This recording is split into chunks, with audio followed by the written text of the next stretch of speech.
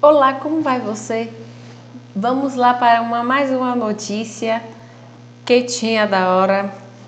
Diácono de igreja evangélica é preso após filhas denunciarem abusos sexuais em Santarém.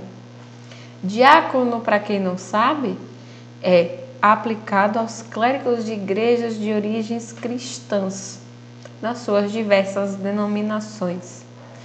Bom, meninas de 13 e 12 anos falam que sofriam abusos desde os 8 anos e os 7 anos. Vítimas passaram por exames que realmente comprovaram os estupros. O homem tem 38 anos e foi preso após as meninas realizarem a denúncia à polícia, falando que sofreu os abusos praticados pelo pai lá em Santarém, no oeste do Pará. O homem que é diácono da igreja evangélica e não teve o nome divulgado para preservar as vítimas. A prisão aconteceu ontem, dia 12.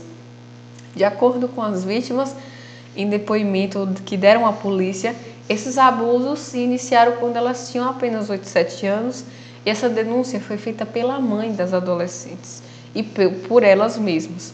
Quando o irmão delas foi contar para a mãe que tinha visto uma das irmãs sendo abusada, a outra ouviu e também falou que era abusada. Uma não sabia que a outra sofria abusos. Foi o que a titular da Delegacia Especializada de Atendimento à Criança e ao Adolescente, a delegada Mila Moura, falou. Bom, os pais são divorciados e têm dois casais de filhos, sendo que os meninos moravam com o pai e as meninas com a mãe. A cada 15 dias, as duas adolescentes iam passar o fim de semana na casa do pai, no ramal dos Coelhos, comunidade Cucurunã, o local onde estavam acontecendo os estupros. A, delega, a, a titular da delegacia, ela complementa que o irmão que foi contar à mãe que tinha visto a irmã sendo abusada, viu isso acontecer há cerca de dois anos, mas ele não contou nada na época, porque tinha medo. Ele não aguentava mais ver o pai praticando uma coisa na igreja e em casa fazendo isso.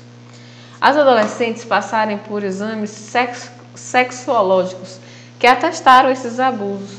Com os indícios, foi solicitada a prisão à justiça. O diácono foi levado para o Central de Triagem Masculina da Penitenciária Agrícola Silvio Hall de Moura.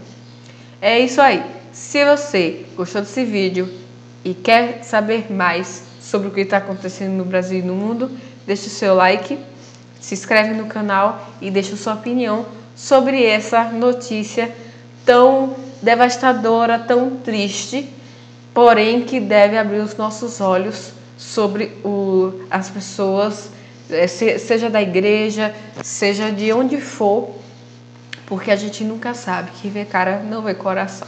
A gente tem que ter o maior cuidado hoje em dia com os nossos filhos e todas as crianças da nossa comunidade, certo? Um forte abraço e até breve.